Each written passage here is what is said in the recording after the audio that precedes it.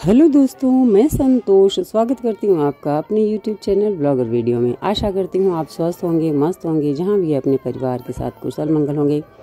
आज हम आपको ले आए हैं बड़बाग की छतरियाँ। ऐसी छतरियाँ जो देखने में बहुत ही खूबसूरत है। पीले पत्थरों से बनी, सूर्य की किरणें गिरे तो ऐसे लगे जैसे सोना चमक रहा है, सोने का महल बना है। पीछे दिख रही है आपको ये छतरियाँ। इन छतरियों को दो भागों में बांटा गया है। नीचे है, वो महारावल की छतरियाँ हैं और ऊपर जो है, वो इन महारावल के पीछे सती होने वाली, जो सती प्रथा थी रानियाँ सती होती थी राजा के पीछे, उनकी छतरियाँ हैं। तो हर राजा के पीछे जितनी रानियाँ शहीद हुई, उन सब की छतरियाँ यहाँ पे सामने बनी हुई है। बहुत ही खूबसूरत ये छतरियाँ हैं और इन छतरियों में इस तरह से इनकी प्रतिमाएँ लगी हुई है। एक पत्थर पर नकाशी करके इनको नाम सहित बताया बनाया गया है। हर छतरी के नीचे आप देख सकते हैं, एक स्तंभ सा बना है और उस पर उस महारानी का महारानी का नाम नहीं होगा, महारावल का नाम होगा और बहुत सुंदर नकाशी के साथ इसको बनाया गया है।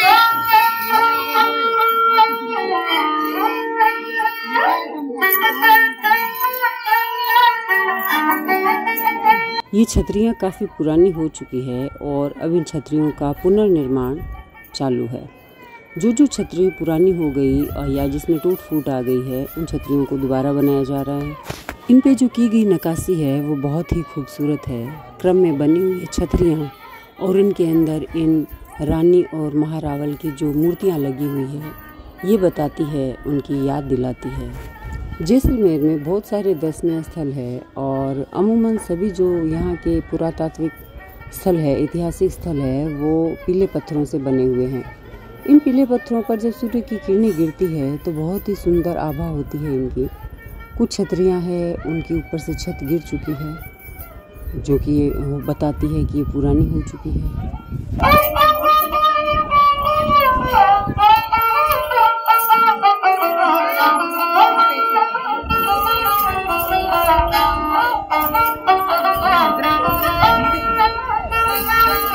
ये छतरियाँ जो पुनर्निर्माण हो रहा है इनका, इस प्रकार की ये लकड़ियों से मचान बनाए गए हैं और इन मचान पे चढ़कर इस छतरी तक पहुँचा जाता है। बहुत ही परंपरागत तरीके से इस छतरियों को पुनर्निर्मित किया जा रहा है। इनका निर्माण कार्य चालू है अभी भी।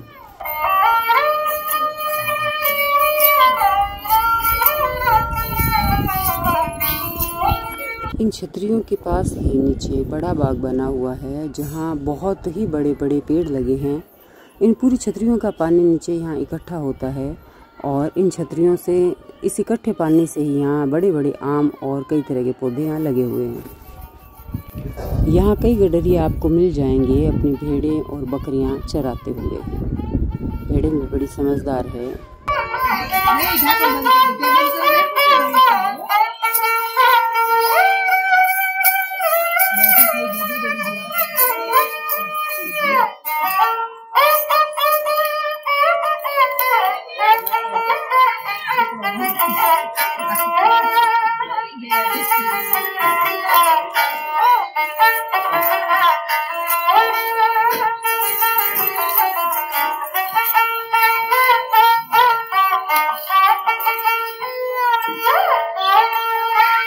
यदि आपको हमारा वीडियो पसंद आया तो लाइक करें शेयर करें सब्सक्राइब करें कमेंट ज़रूर करें। क्योंकि आपका हर एक कमेंट हमें नहीं प्रेरणा देता है। और कोई प्रेरणा नहीं देता।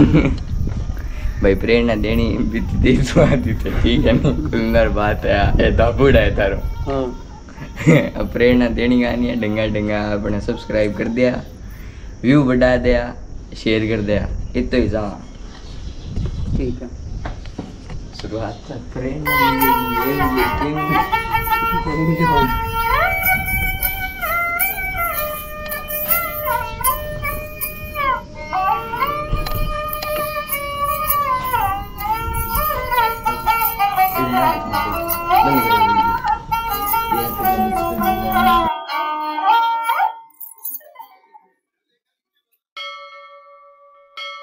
और शर्मा जी, पता नहीं इस तौलिए को क्यों नहीं हटा देते अपने कंधे से?